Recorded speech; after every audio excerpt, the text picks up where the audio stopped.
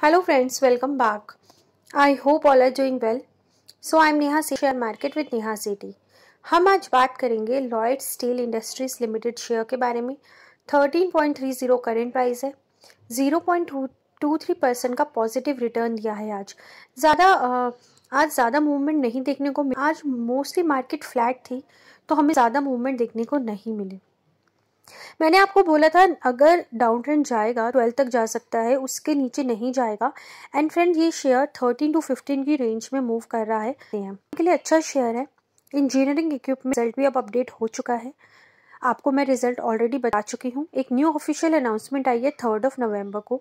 Details of loss of certificate so document open कर लेते हैं सो so दैट आपको भी जो भी अपडेट आई है ऑफिशियली आपको ज़रूर पता होनी चाहिए। So so friends long term में अभी एक है?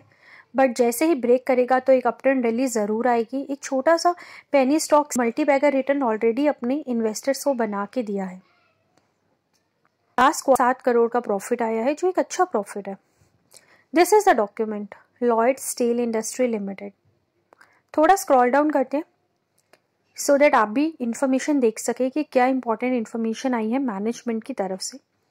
Intimation towards issue of duplicate share certificate so जो registrar and share transfer agent है, वो है big share services private limited Narayan Dharia, इनका सर्टिफिकेट नंबर है और नंबर ऑफ़ शेयर्स जो लॉस हुए हैं, वो है 272 the duplicate share certificate will be issued only after compliance of required formalities तो यही ये मेंशन किया गया है।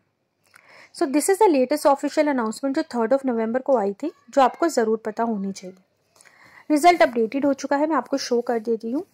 सितंबर क्वार्टर में जो प्रॉफिट आया है, वो है साढ़े सात करोड़ का। जून में था टेन करोड़ का। तो गिरावट आई, लेकिन फिर भी एक अच्छा कंसिस्टेंट प्रॉफिट ही हम कहेंगे। तो शेयर प्राइस में रिज़ल्ट के बाद थोड़ा सा फॉल आने के चांसेस हैं। बट जैसे ही मार्केट रिकवर करेगी प्राइस में हमें अप ट्रेंड रैली ही देखने को मिलेगी। आप देख सकते हैं। प्रोमोटर्स काफ़ी स्ट्रॉन्ग होल्डिंग रखते हैं अपनी।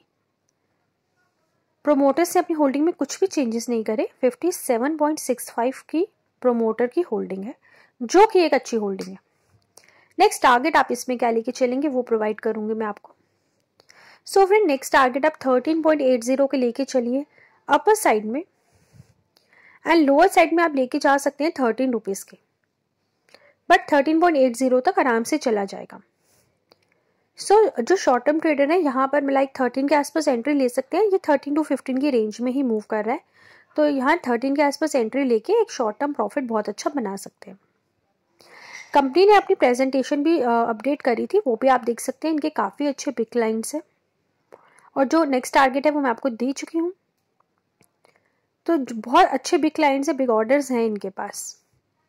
Thank you so much if you still have any query related to this share you can ask me in the comment box channel को किया है फ़र्स्ट टाइम विज़िट तो प्लीज़ कर दीजिए सब्सक्राइब